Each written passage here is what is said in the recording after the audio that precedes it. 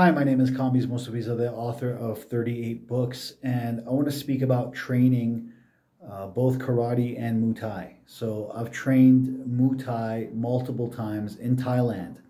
I've also trained Muay Lao in Laos. Um, you know, uh, I've also, you know, received my black belt in karate. So um, for, for striking styles, I've also trained in boxing right? Since I was 19 years old. So over 20 some years, over 25 years, I've trained in boxing. So, um, you know, it's all about training various styles. You know, training various styles allows you to learn more, right? And you know that's that's really the point when it comes to uh, you know martial arts. It's about learning more, right?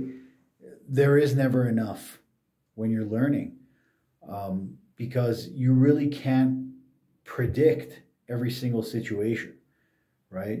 You just have to understand the various principles and you have to actually spend time practicing uh, the various skills that are involved, right?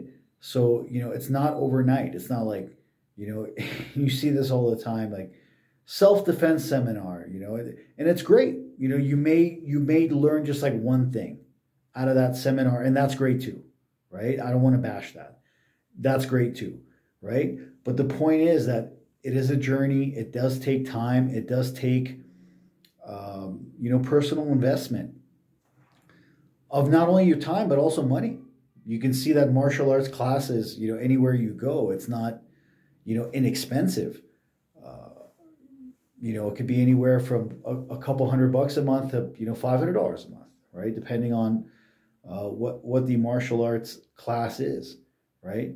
Um, but you know, it's it's definitely worth training various styles. Uh, you know, it's in, you know, and that should be really the name of this video. It's why training various styles is important, right? Why cross training is important. Uh, why cross training martial arts is important, right? Because again, each one has something that you know you're going to learn. Each one has something that it's going to teach you and you know that is absolutely important right? It is important to learn just like even if you learn one technique from every style that you know you end up learning and cross training in that's you know that one technique could help you right? That could help you uh, in competition.